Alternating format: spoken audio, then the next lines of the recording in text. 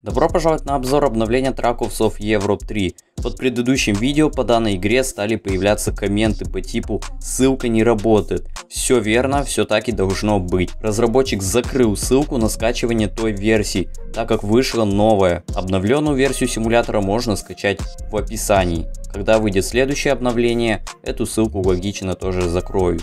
Что ж, ну а теперь конкретно что нового. В игре было исправлено множество багов, которые находили игроки и сам разработчик. Я в этом убедился сам лично, так как в предыдущей версии за кадром у меня был довольно противный баг. В этой версии его не стало. Также игра была оптимизирована. В большинстве случаев, когда я вижу в строку проведена оптимизация, я сразу понимаю, что разницы я почти не замечу. Ее заметят игроки с менее мощным телефоном. Но в этот раз я конкретно ощутил изменения. Если вы помните, в первом видео по Tarkov of Europe 3 показатель FPS не поднимался выше 40. Сейчас же у меня стабильно держится промежуток от 55 до 60 FPS. А на самых минималках стабильно держится держится 60. Средние настройки все так же лагает, но там количество кадров в секунду увеличилось на 5. Что ж, ну и на этом все. Хочу сказать очень важную вещь. Если вы найдете какие-либо баги, сообщите об этом разработчику. Ссылка на его Facebook и Discord в описании. Это сделает игру лучше. Благодаря обратной отдаче в игре исправили множество багов. Ну а на этом все. Если понравилось видео и обновление, ставь лайк.